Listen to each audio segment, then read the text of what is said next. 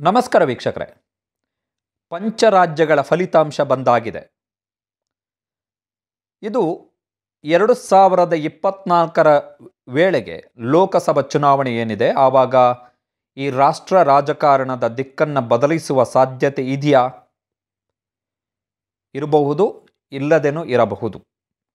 ಯಾಕಂತ ಹೇಳಿದ್ರೆ ಎರಡು ಸಾವಿರದ ಹತ್ತೊಂಬತ್ತರಲ್ಲಿ ಕೂಡ ಈ ರೀತಿಯಾದಂಥ ಒಂದು ಪ್ರಯತ್ನ ನಡೆದಿತ್ತು, ಬಟ್ ಆ ಪ್ರಯತ್ನ ಫಲ ಕೊಡಲಿಲ್ಲ. ಎರಡು ಸಾವಿರದ ಇಪ್ಪತ್ತ ನಾಲ್ಕರ ಚುನಾವಣೆಯ ಮೇಲೆ ಇದು ಯಾವ ರೀತಿ ಪರಿಣಾಮ ಬೀರುತ್ತೆ? ಈ ಬಾರಿ ತುಂಬ ಮುಂಚೂಣಿಯಲ್ಲಿರುವಂತಹ ನಾಯಕಿ ಪಶ್ಚಿಮ ಬಂಗಾಳದ ಮುಖ್ಯಮಂತ್ರಿ, ಟಿ ಎಂ ಸಿಯ ಅಧಿನಾಯಕಿ ದೀದಿ. ದೀದಿ ಈ ಚುನಾವಣೆ ಘೋಷಣೆ ಆಗುವುದಕ್ಕಿಂತ ಕೆಲ ತಿಂಗಳು ಹಿಂದೆ ಮುಂಬೈನಲ್ಲಿ ಶರದ್ ಪವಾರ್ ಅವರನ್ನ ಭೇಟಿ ಆಗ್ತಾರೆ ಅದಾದ ಬಳಿಕ ಒಂದು ಹೇಳಿಕೆಯನ್ನು ಕೊಡ್ತಾರೆ ಏನು ಅಂತ ಹೇಳಿದ್ರೆ, ಕಾಂಗ್ರೆಸ್ ಇಲ್ಲದೆಯೇ ಒಂದು ಮೈತ್ರಿಕೂಟವನ್ನು, ನ್ಯಾಷನಲ್ ಅಲಯನ್ಸ್ ಅನ್ನು ಒಂದನ್ನು ಮಾಡ್ಕೋಬೇಕು ಅಂಥೇಳಿ ಅದು ಸಾಧ್ಯನಾ?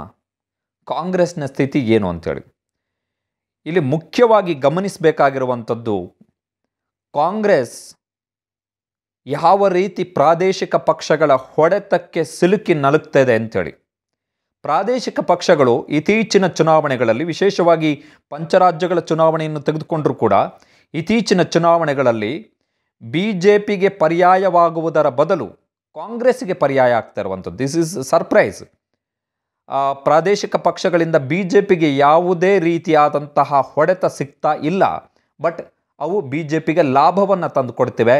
ಕಾಂಗ್ರೆಸ್ಗೆ ಅದರ ನೆಲೆಯನ್ನೇ ಬುಡಮೇಲು ಮಾಡ್ತಾ ಇದೆ. ಕಾಂಗ್ರೆಸ್ಸಿಗೆ ಹೊಡೆತವನ್ನು ಕೊಡ್ತಿದೆ. ಕಾಂಗ್ರೆಸ್ಗೆ ನಷ್ಟದ ರೀತಿಯಲ್ಲಿ, ಕಾಂಗ್ರೆಸ್ಸಿಗೆ ನಷ್ಟವಾಗಿ ಬಿ ಜೆ ಪಿಗೆ ಒಂದು ಹಂತದಲ್ಲಿ ಅದರ ಸ್ಥಾನ ಭದ್ರವಾಗಿ ಪ್ರಾದೇಶಿಕ ಪಕ್ಷಗಳು ಚಿಗುರ್ಕೊಳ್ತಾ ಇರುವಂಥದ್ದು. ಉದಾಹರಣೆಗೆ ನೋಡಿ, ಗೋವಾ. ಗೋವಾದಲ್ಲಿ ಅತಂತ್ರ ಸ್ಥಿತಿ ಬರುತ್ತೆ ಅಥವಾ ಕಾಂಗ್ರೆಸ್ ದೊಡ್ಡ ಪಕ್ಷವಾಗಿ ಹೊರಹೊಮ್ಮುತ್ತೆ ಎನ್ನುವಂಥದ್ದು ಒಂದು ಲೆಕ್ಕಾಚಾರ ಇತ್ತು.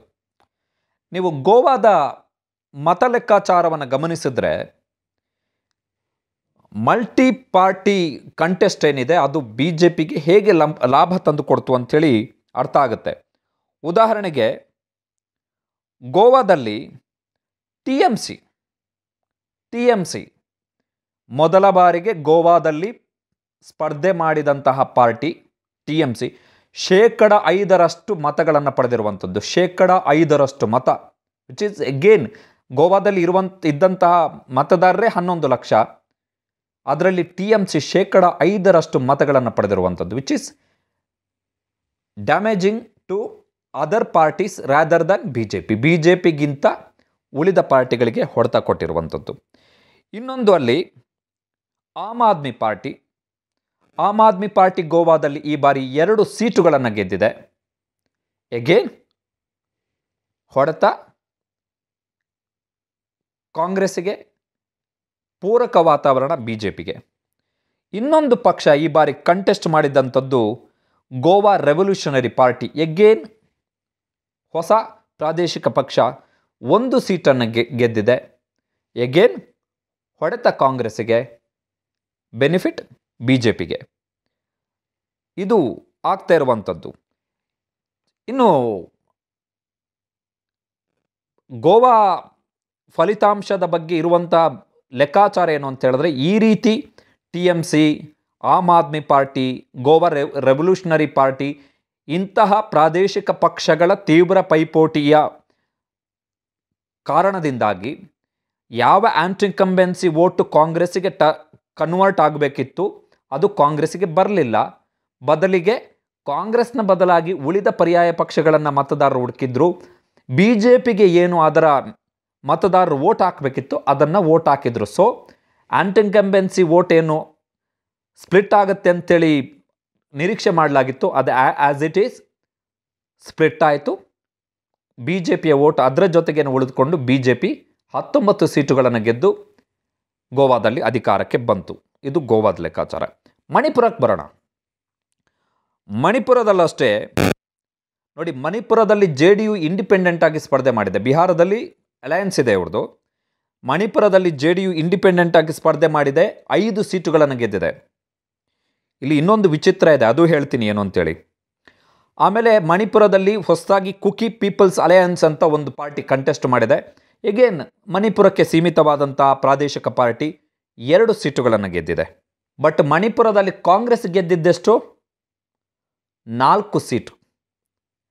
ಒಂದು ಕಾಲದಲ್ಲಿ ಮಣಿಪುರದಲ್ಲಿ ಪ್ರಬಲ ಪಕ್ಷ ಈ ಬಾರಿ ಅನ್ಎಕ್ಸ್ಪೆಕ್ಟೆಡ್ ಇಪ್ಪತ್ತ ನಾಲ್ಕು ಸೀಟು ಕೋತಾಗಿದೆ. ಕಳೆದ ಬಾರಿ ಇಪ್ಪತ್ತೆಂಟು ಸೀಟ್ ಗೆದ್ದಿತ್ತು ಮಣಿಪುರದಲ್ಲಿ ಕಾಂಗ್ರೆಸ್. ಈ ಬಾರಿ ಜಸ್ಟ್ ಫೋರ್ ಸೀಟ್ಸ್ ಕಾಂಗ್ರೆಸ್ಗಿಂತ ಜಾಸ್ತಿ ಜೆ ಡಿ ಯು ಗೆದ್ದಿದೆ, ಐದು seat. Kuki people alliance again two seats ಗೆದ್ದಿರುವಂಥದ್ದು ಮಣಿಪುರದಲ್ಲಿ. ಅಂದರೆ ಹೇಗೆ ಪ್ರಾದೇಶಿಕ ಪಕ್ಷಗಳು ಕಾಂಗ್ರೆಸ್ಸಿಗೆ ಪರ್ಯಾಯವಾಗಿ ಬೆಳೀತಾ ಇದೆ. ಬಟ್ ಬಿ ಜೆ ಪಿಗೆ ಏನು ತೊಂದರೆ ಆಗ್ತಾ ಇಲ್ಲ. ಬಿ ಜೆ ಪಿಯ ವೋಟ್ ಏನು ವೋಟ್ ಬ್ಯಾಂಕ್ ಏನಿದೆ it was with B J P it is with B J P ಅದರ ಜೊತೆ ಇತ್ತು, ಈಗಲೂ ಇದೆ. ಮಣಿಪುರದ ಲೆಕ್ಕಾಚಾರ. ಪಂಜಾಬಲ್ಲೂ ಕೂಡ ಅಷ್ಟೇ. ಹೊಸ ಪ್ರಾದೇಶಿಕ ಪಕ್ಷ. ಪಂಜಾಬ್ನ ರಾಜಕೀಯ ಇತಿಹಾಸಕ್ಕೆ ನೋಡೋದಾದರೆ, ಹೊಸ ಪ್ರಾದೇಶಿಕ ಪಕ್ಷನೇ ಆಮ್ ಆದ್ಮಿ ಪಾರ್ಟಿಗೆ. ಅದೇನು, ಅದಕ್ಕೇನು ತೀರಾ, ಏನು ದೀರ್ಘಕಾಲದ ಇತಿಹಾಸ ಇರುವಂಥ ಪಕ್ಷ ಏನಲ್ಲ. ಪಂಜಾಬ್ನಲ್ಲೂ ಕೂಡ ತೊಂಬತ್ತ ಎರಡು ಸೀಟುಗಳನ್ನು ಗೆದ್ದು ಆಮ್ ಆದ್ಮಿ ಪಾರ್ಟಿ ಕಾಂಗ್ರೆಸ್ಗೆ ಹೊಡೆತವನ್ನು ಕೊಟ್ಟಿರುವಂಥದ್ದು. ಪಂಜಾಬ್ನಲ್ಲಿ ಕಾಂಗ್ರೆಸ್ ಚೈತನ್ಯವನ್ನೇ ಕಳೆದುಕೊಳ್ಳುವ ಮಟ್ಟಕ್ಕೆ ಸೋಲನ್ನು ಅನುಭವಿಸಿರುವಂಥದ್ದು. ಇದು ಪಂಜಾಬ್ ಲೆಕ್ಕಾಚಾರ. ಉತ್ತರಾಖಂಡ್ನಲ್ಲೂ ಅಷ್ಟೇ. ಉತ್ತರಾಖಂಡ್ನಲ್ಲಿ ಕೂಡ ಆಮ್ ಆದ್ಮಿ ಪಾರ್ಟಿ ಸೀಟು ಗೆಲ್ಲದೇ ಇರಬಹುದು. ಶೇಕಡ ಮೂರರಷ್ಟು ಮತಗಳನ್ನು ಪಡ್ಕೊಂಡಿದೆ. ಶೇಕಡ ಮೂರರಷ್ಟು ಮತಗಳನ್ನು ಪಡ್ಕೊಂಡಿದೆ. ಅಂದರೆ ಈ ಅಂಕಿಅಂಶಗಳನ್ನು ಯಾಕೆ ಕೊಟ್ವಿ ಅಂತ ಹೇಳಿದ್ರೆ, ಯಾವ ರೀತಿ ಪ್ರಾದೇಶಿಕ ಪಕ್ಷಗಳು ಬಿ ಜೆ ಪಿಗೆ ಪರ್ಯಾಯ ಆಗುವುದರ ಬದಲು ಕಾಂಗ್ರೆಸ್ಸಿಗೆ ಪರ್ಯಾಯ ಆಗ್ತಿದ್ದೇವೆ ಅಂತೇಳಿ. ಅಂದರೆ ಬಿ ಜೆ ಪಿ ಅದರ ಸ್ಟ್ಯಾಂಡ್ ತುಂಬ ಸೇಫ್ ಆಗಿದೆ, ಏನು ಎಲ್ಲೂ ಕೂಡ ಅಲಗಾಡ್ತಾ ಇಲ್ಲ. ಬಿ ಜೆ ಪಿಗೆ ಪರ್ಯಾಯ ಆಗಬೇಕು ಅಂತಲ್ಲ ನಾನು ಹೇಳ್ತಾ ಇರೋದು. ಬಟ್ ಬಂದರೆ ಹೊಸ ಪಕ್ಷಗಳು ಬಂದರೆ ಬಿ ಜೆ ಪಿ ಒಟ್ಟು ಡಿವೈಡ್ ಆಗುತ್ತೆ ಬಿ ಜೆ ಪಿಗೆ ಹೊಡೆತ ಬೀಳುತ್ತೆ ಅನ್ನುವಂಥ ಲೆಕ್ಕಾಚಾರ ಇದೆಯಲ್ಲ?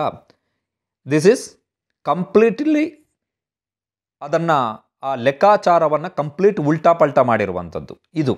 ಅಂದರೆ ಕಾಂಗ್ರೆಸ್ನ ಹೊಸ ಸವಾಲುಗಳೇನು ಅಂತ ಹೇಳಿದ್ರೆ it is not B J P it is the regional party ಪಾರ್ಟಿಗಳು ಯಾವುದು ತಮ್ಮ ಪ್ರಾಬಲ್ಯವನ್ನು ವಿಸ್ತರಿಸಿಕೊಳ್ತಾ ಇದೆ, ಆ ರೀಜನಲ್ ಪಾರ್ಟಿಗಳು. ಕಾಂಗ್ರೆಸ್ಸಿಗೆ ಹೊಸ ಸವಾಲಾಗಿ ಮಾರ್ಪಾಡಾಗಿರುವಂಥದ್ದು. ಸೊ ಈ ಸವಾಲುಗಳನ್ನು ಹೇಗೆ ಕಾಂಗ್ರೆಸ್ ಹ್ಯಾಂಡಲ್ ಮಾಡುತ್ತೆ ಅಂತ ಗೊತ್ತಿಲ್ಲ. ವಿಚಿತ್ರ ಏನು ಅಂತ ಹೇಳಿದ್ರೆ ಕಾಂಗ್ರೆಸ್ನ ಕೈಯಲ್ಲಿ ಇರುವಂಥದ್ದು ಈಗ ಎರಡೇ ಸರ್ಕಾರ. ಒಂದು ಛತ್ತೀಸ್ಗಢ, ಇನ್ನೊಂದು ರಾಜಸ್ಥಾನ.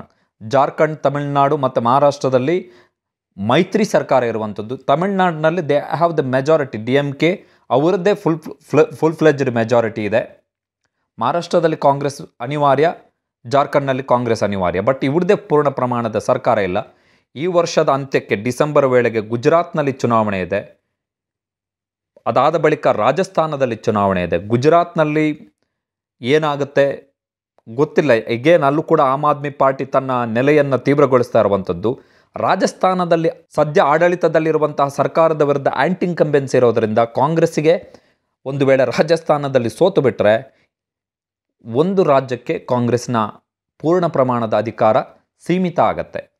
ಹಾಗಾಗಿ ಈ ಲೆಕ್ಕಾಚಾರವನ್ನು ನೋಡ್ತಾ ಇದ್ದರೆ ಕಾಂಗ್ರೆಸ್ಸನ್ನು ಬಿಟ್ಟು ಪರ್ಯಾಯವಾಗಿ ರಾಷ್ಟ್ರೀಯ ಒಕ್ಕೂಟ ಮೈತ್ರಿಯನ್ನು ರಚಿಸ್ಕೋಬೇಕೆನ್ನುವಂತಹ ಮಮತಾ ಬ್ಯಾನರ್ಜಿಯವರ ವಾದ ಏನಿದೆ, ಎಗೇನ್ ಅವರು ಪ್ರಧಾನಿ ಸ್ಥಾನದ ಮೇಲೆ ಕಣ್ಣಿಟ್ಟಿರುವ ನಾಯಕಿ.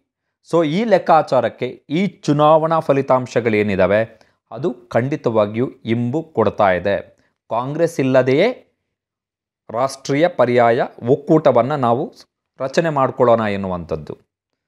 ಎಗೇನ್ ಕನ್ಕ್ಲೂಷನ್ ಏನು ಅಂತ ಹೇಳಿದ್ರೆ, ಪ್ರಾದೇಶಿಕ ಪಕ್ಷಗಳು ಕಾಂಗ್ರೆಸ್ಸಿಗೆ ಹೇಗೆ ಮುಳುವಾಗ್ತಾ ಇದೆ, ಹೇಗೆ ಕಾಂಗ್ರೆಸ್ ಈ ಸವಾಲುಗಳನ್ನು ಎದುರಿಸ್ಕೊಳ್ಳುತ್ತೆ ಎನ್ನುವಂಥದ್ದೇ ಮುಂದೆ ಇರುವಂತಹ ಪ್ರಶ್ನೆ.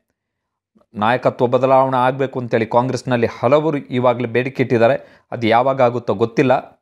But as of now Congress as new challenge that is emerging ಮತ್ತು ಸ್ಟ್ರೆದನಿಂಗ್ ಆಗ್ತಿರುವಂತಹ ರೀಜ್ನಲ್ ಪಾರ್ಟೀಸ್